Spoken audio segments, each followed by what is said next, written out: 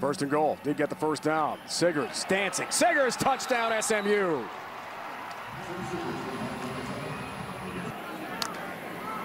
On first down. Off the penalty. Here's Aune.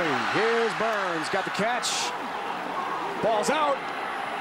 Had the momentum for the first down, but before he came down, the ball's out, and SMU's got it. Play fake. Katie Davis some pressure on the blitz. Pass is caught. Big play, SMU. I am so impressed by Mordecai and, and his knowledge of this offense and knowing where to go versus the blitz. Man, are they going fast here. Here's Lavine looking for a touchdown. End zone. He's in. Another score for SMU on the ground. He's not real happy right now, I can promise you that. Mooney to kick off.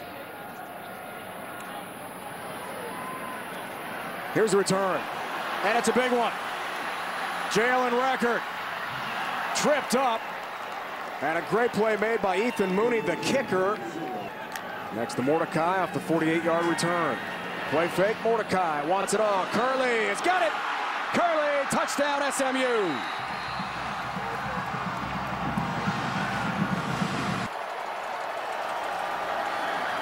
Third down. Richards the pressure. Rice elevates, makes the catch. Adaway tries to add to the total. Will breaks a tackle. Adaway loose. Adaway. There you go. He's in. Touchdown, North Texas. One timeout, SMU. Out of real estate to pick up. Big play here. SMU on the move.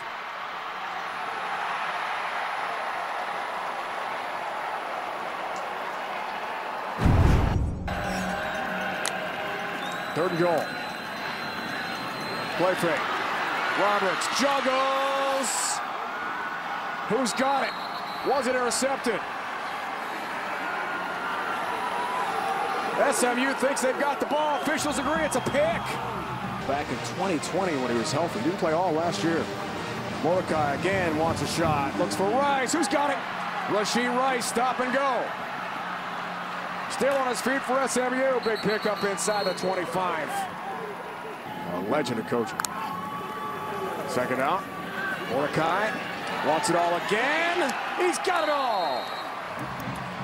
Rice, touchdown. Change all the time. Dixon in motion. Dixon, the grab.